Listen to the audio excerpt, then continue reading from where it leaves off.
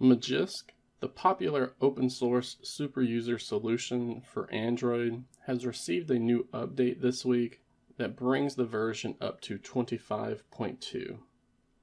This update focuses mostly on transitioning the logging infrastructure over to the Rust programming language, but also fixes some annoying bugs as well. It was back in the first half of last year when John Wu began working on adding the memory managed programming language into Magisk. This has the added benefit of reducing, if not eliminating, the memory leaks and buffer overflow errors when compared to C++, which is what most of Magisk's low-level components are written in. With this release, all of the logs that Magisk creates is now handled in by Rust.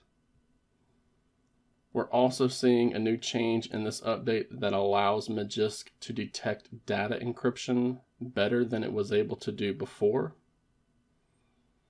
And lastly, the main developer of Magisk confirms that version 25.2 of Magisk also squashes some important bugs that have been reported. This includes an issue when stub CPIO is used, a bug for rebooting to recovery when CPIO is used, and lastly, it fixes the SE policy rules symlink for devices that are using the root FS file system. Now with this new version of Magisk out, we can manually update our installed version by first going into the Magisk application. And if you do not see an update button right here, you can go ahead and swipe it away from your memory and open up Magisk so that it can manually check again. Once we see this update button is there, we're going to go ahead and tap it so that we can first update the application for Magisk. This used to be called the Magisk Manager, but now it is just the Magisk application. And once we have updated the Magisk application to version 25.2, then we get an update button for the actual Magisk binaries. And we can update the Magisk binaries by again tapping on the update button. And at least for this device, we're just going to do a direct install. And then we're going to let Magisk update itself. You may have some extra options there, especially if you're using a Samsung device. So you're going to want to follow the same steps you did initially when you patched your AP file. Except again, we're going to do the direct install method so that the binary itself can be updated. Once all of that happens, you're going to see this blue reboot reboot button down at the bottom. We're going to tap it and then let the device restart.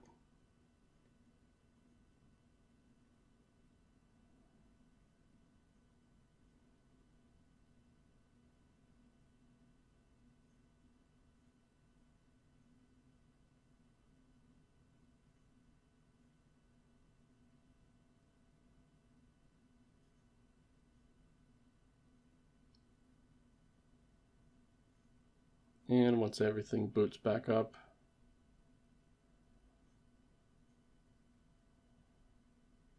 we can go and open up Magisk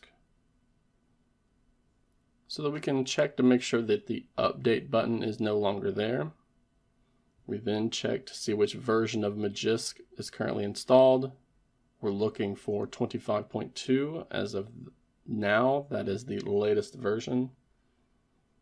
And we can even use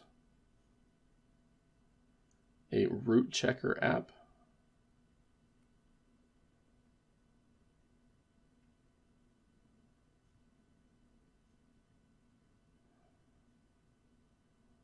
from the Play Store to verify that we still have root access on our device.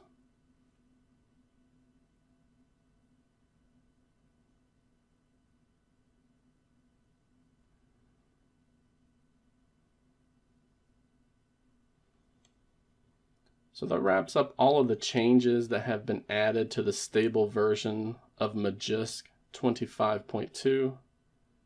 If you end up running into a boot loop or any other issues, then you'll want to downgrade back to a working version and then submit a bug report to the Magisk GitHub repository.